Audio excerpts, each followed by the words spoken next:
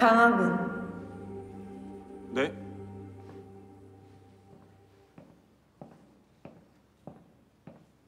그 얼마 버티지도 못하는 장학생은 왜 매번 뽑는 걸까? 가난한 애들에게도 기회를 준다. 노블레스 오블리주? 그거 못 잃으시잖아. 교장 쌤이? 아니, 주신의 주인.